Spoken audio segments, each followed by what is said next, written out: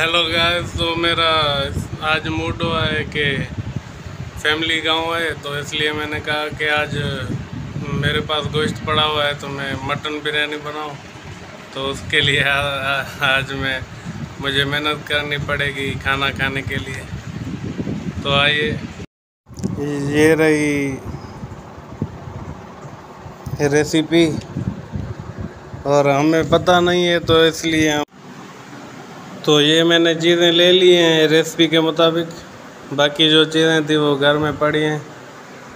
तो काटते हैं आज, देखते हैं क्या बनता है। तो गाय इस वक्त प्याज और ये पुदना कट चुकी है। बाकी जो होता है, देखते हैं। रेसिपी भी देखें, उसमें क्या लिखा है। तो भाई, अभी मैंने गोश्त वगैरह सब कुछ जमा कर लिया है। देखते हैं क्या होता है, कैसे बनता है, पता नहीं।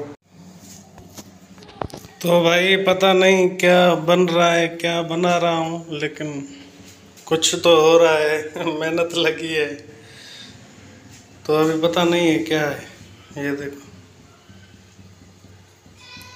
जब कुछ बनेगा तो दिखाऊँगा। अभी मैं मोबाइल में रेसिपी देख रहा हूँ तो थोड़ा वेट करें या तो भाई जैसा जैसा वो कह रहे हैं, वैसा वैसा कर तो रहा हूँ, लेकिन अभी आधा काम हो गया है ऐसा समझ तो भाई अभी इन्होंने कहा कि चावल उबाल लो तो चावल उबल गए, और ये रहे गोश्त, आयल, ये रहे प्याज, पता नहीं क्या।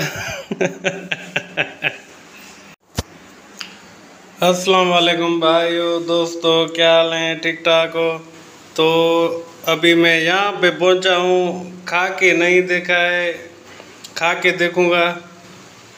लेकिन थोड़ा सा मतलब अंदाज़ा हो रहा है कि तकरीबन सही हो गया है, अलहमदिल्ला, माशाल्लाह।